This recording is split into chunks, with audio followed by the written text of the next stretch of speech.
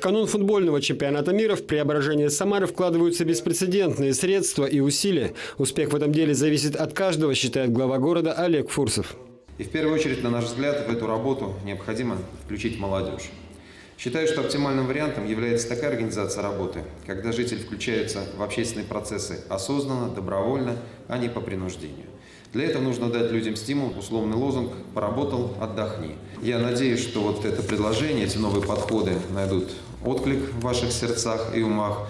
И очень надеюсь, что совместными усилиями мы сделаем еще один шаг по приведению нашего города в более привлекательный, достойный, пригодный для жизни город.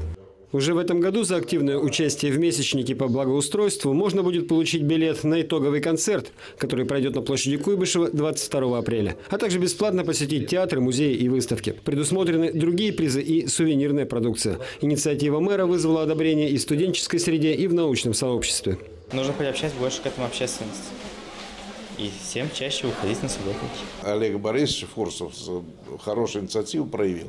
Заинтересовать людей. То есть как, что-то они должны как, получить какое-то ну, поощрение, награду. Это не э, самый главный такой мотиватор, конечно, но в каком-то степени он тоже сработает, я в этом уверен. Два наиболее активных самарцев, участвующих в месячнике, будут включены в федеральный проект по благоустройству. Со своей стороны администрация обещает обеспечить всех горожан необходимым инвентарем.